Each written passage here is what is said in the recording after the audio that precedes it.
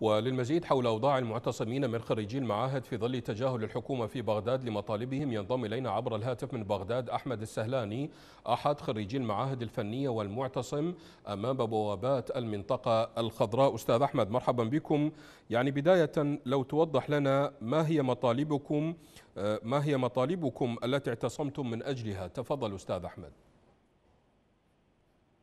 السلام عليكم. عليكم طبعا السلام اولا ورحمة الله. شكرا لحضراتكم وقناتكم الكريمة. أهلا بك على توصيل صوتنا إحنا كخريجين المعاهد التقنية المعتصمين في بغداد من محافظة ديقان. نعم. منذ متى وأنتم معتصمون أستاذ أحمد؟ ما هي أوضاع الاعتصام في ظل هذا الحر الشديد؟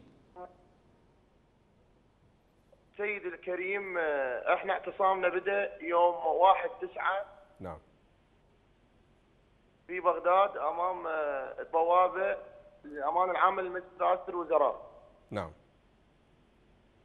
وهذا الاعتصام كان يعني نقول البطاقة الأخيرة بعد ما عن المناشدة والمطالبة والمظاهرات والاعتصامات اللي أقمناها في محافظتنا اللي هي محافظة ديقان نعم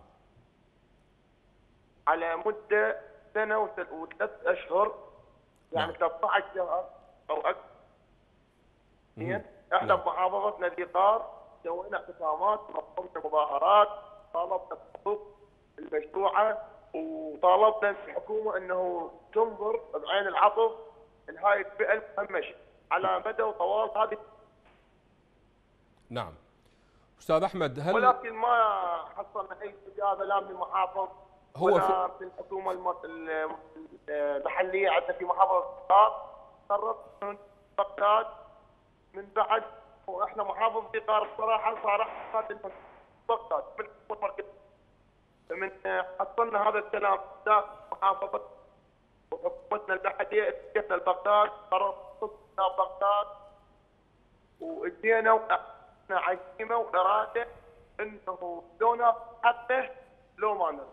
طيب أستاذ أحمد يعني وهذا الكلام أكدناه أكثر من ناس نعم. لا وجود لرد من قبل المسؤولين على مطالبكم لكن هنا ما الذي تنوون فعله في ظل التجاهل التام من قبل المسؤولين تجاه آه، مطالبكم المشروعة؟ ما هو الخيار لديكم أستاذ أحمد؟ والله أستاذنا العزيز إحنا بالنسبة لنا طبقة مهمشة أرجع أكرر طبقة مهمشة.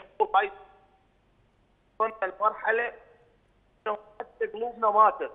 بعد من اجينا وقررنا نعتصم اجينا قررنا نعتصم إنه بدون رجعة.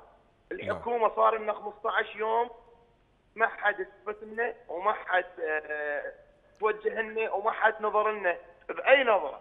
ولا كانه أبناء هذا الوطن. نعم. ولا كانه إن حقوق على هذا الوطن وعلى هاي الحكومة. نعم. مثال بسيط أستاذنا العزيز حتى حتى الشركات والمجمعات صارت بالعراق تجذب العمالة الأجنبية. اللي هي بنغلاديش وغيرها وغيرها ويمكن نعم. كل العالم يعرف هذا الشيء. زين إحنا أبناء الوطن وين نروح؟ إذا لا بالقطاع الخاص يتقبلنا ولا القطاع العام يتقبلنا. إحنا وين نتجه؟ شلون نعيش؟ شلون نكون عوائل؟ صحيح شلون نبني أسر؟